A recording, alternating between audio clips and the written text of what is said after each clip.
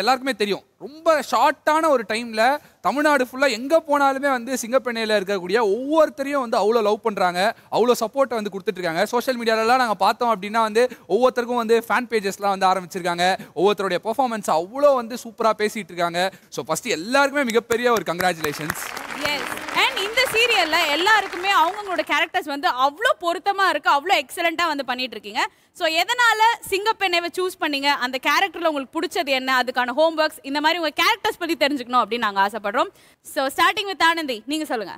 எனக்கு அந்த கேரக்டர் ரொம்ப பிடிச்சிருக்கு.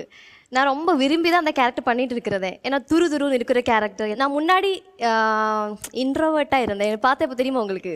ஆ ஆமா சத்தியமா சத்தியமா அப்பா, எல்லாம் introvert ஆ தான் சொல்லுங்க. இருந்தேன். தெரியுது. பார்த்த உடனே ஐயோ. ஐயோ, பொய் இல்லப்பா, பொய் இல்ல. சத்தியமா. இப்ப வீட்ல யாராவது வந்தா கூட நான் ஒளிஞ்சு போவேன். யாரையும் பார்க்க முடியாது. நான் இப்- இப்போ இப்போ மாறிட்டேன். இப்போ எக்ஸ்ட்ரோவர்ட்டா இருக்கு இப்போ நடந்து போயிட்டு இருக்கும்போதே எல்லாரும் எத்திட்டு அடிச்சிட்டு தான் போறது ஆமா அந்த மாதிரி கேரக்டர் ஆயிடுச்சு. இப்போ ஒரு ஆனந்தி மாதிரி தான் இப்போ நான் ஓகே அன்பு நீங்க சொல்லுங்க. உங்களுக்கும் இந்த மாதிரி ரியல் லைஃப்க்கும் நம்ம சீரியல் கேரக்டருக்கும் டிஃபரன்ஸ்லாம் நிறைய இருக்கா? இல்ல கிட்டத்தட்ட என்னோட கேரக்டர் மாதிரி தான். ஆனா ஒண்ணு மட்டும் தெரிஞ்சிருச்சு. எல்லாரும் வந்து இல்ல அவருடைய மனசாட்சி எடுத்து வீட்டுல வச்சிட்டீங்கல்ல அளந்து விடுவோம் கதை கதையா. உண்மையா மட்டும் தான் நிஜமாவே. எழுதி படிச்சுட்டு வந்திருக்கேன் ஏதாவது சொல்லணும்னு நினைச்சேன். இருக்கும். ஆக்சுவலி இந்த கேரக்டருக்குள்ள வந்து எப்படின்னா நான் இன்னொரு கேரக்டர் தான் ஆக்சுவலி ஆடிஷன் கொடுத்தேன் ஃபர்ஸ்ட்ல. அதுக்கப்புறம் எங்களோட ப்ரொடியூசர் பால சார் கால் பண்ணி தான் இது மாதிரி இன்னொரு கேரக்டர் இருக்கு உன்னால் அது பண்ண முடியுமா? நல்ல ஸ்கோப் இருக்கும் அப்படின்னு. சரி அவங்க சொன்னதுக்கப்புறம் ஓகே சொல்லிட்டு. ஆனால் இந்த கேரக்டருக்குள்ள வந்ததுக்கப்புறம் தான் ஏன்னா ரொம்ப சென்டிமெண்டான ஒரு கேரக்டர் நிறைய ஸ்கோப் இருக்கு. பெர்ஃபார்ம் பண்றதுக்கு இருக்கு. நான் எதிர்பார்க்காத அளவுக்கு ஆடியன்ஸ் அதை அக்செப்ட் பண்ணிட்டாங்க. அதான் எனக்கு கிடைச்ச ஒரு ரொம்ப ஒரு பாசிட்டிவான ஒரு திங் சூப்பர் அண்ட் மகேஷ் நீங்க சொல்லுங்க. ஸோ உங்களுக்கு எப்படி இருந்தது இந்த கேரக்டர் சொல்லும் போது அதை பெர்ஃபார்ம் போது எப்படி இருக்கு? என்னென்ன ஹோம்ஒர்க்லாம் பண்ணீங்க? ஹோம்ஒர்க் எல்லாம் ஹோம்ஒர்க் எல்லாம் நான் எதுவுமே பண்ணல. பட் ஏன்னா நீங்கள் சொன்ன மாதிரி அது கேரக்டர்ஸ் கொஞ்சம் சிமிலராக இருக்குது அண்ட் ரியால் இன் ரியாலிட்டி கூட நான் அந்த என்னோட கேரக்டர் வந்து கொஞ்சம் சட்டலாக இருக்குது நான் ரொம்ப அந்த வாய்ஸ் ரைஸ் பண்ணியெல்லாம் பேச மாட்டேன். அண்ட் மெயின் திங் நான் வாட் ஐ லைக் வாஸ் என்னோட கேரக்டர் அது காஸ்டியூம்ஸ் இருக்குல்ல. காஸ்டியூம்ஸ் எல்லாமே அது நல்லாவே இருக்குது ஸோ ஆன்ஸ்க்ரீன் வரும்போது அதுக்கு என்னோட கான்ஃபிடென்ஸ் இப்போ கொஞ்சம் ஹையாக இருக்குது super nice nice and Mitra நாங்க வந்து நிறைய பாசிட்டிவ் கேரக்டர்ஸ்ல பவித்ரா நடிச்சு வந்து பார்த்திருக்கோம். முதல் தடவை நெகட்டிவா பாக்குறதுக்கு எங்களுக்கே ரொம்ப டிஃப்ரெண்டா இருக்கு. உங்களுக்கு எவ்வளவு டிஃப்ரெண்டா இருக்கு நடிக்க? மித்ரா வந்து எனக்கு பர்சனலி ரொம்ப ரொம்ப ரொம்ப ஒரு பிடிச்ச ஒரு கேரக்டர்னே சொல்லலாம். இப்படி சாச்சிட்டு இப்படி உட்கார்ந்தேன்னு வச்சுக்கோ ராஜா பகுத் மாதிரி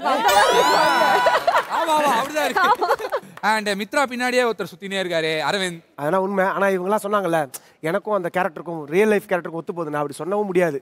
ஏன்னா இது அப்படிப்பட்ட கேரக்டரா வேற இருக்கு. இப்பதான் ஃபாரின்ல இருந்து வர வில்லனா வந்திருக்கேன். அடாடாடா இந்த எந்த கண்ட்ரில இருந்து வந்திருக்கீங்க? அவர் யூஎஸ்ல இருந்து வருவாரு.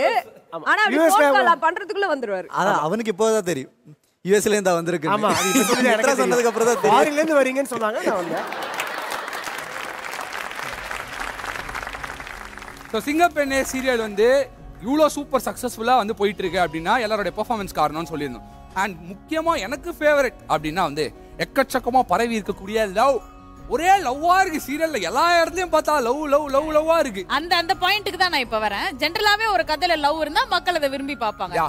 பட் இங்க எத்தனை லவ் இருக்குன்னே என்னால புரிஞ்சுக்க முடியல. ஃபர்ஸ்ட் அரவிந்த் நீங்க சொல்லுங்க. நீங்க யாரை லவ் பண்றீங்க? என்னைக்குமே மித்ரா தான். மித்ரா தான். ஆமாமா வா வா பார்த்தல இப்ப மித்ரா நீங்க யாரை லவ் பண்றீங்க? அதான் அவனே ஃபினிஷிங்ல சொன்னால அதனால தான் பார்த்து ஒரு நல்ல பையனா லவ் பண்ணிக்கோன்னு சொல்லிட்டோமான்னு அதனால நான் மகேஷ் லவ் பண்றேன். மகேஷ்.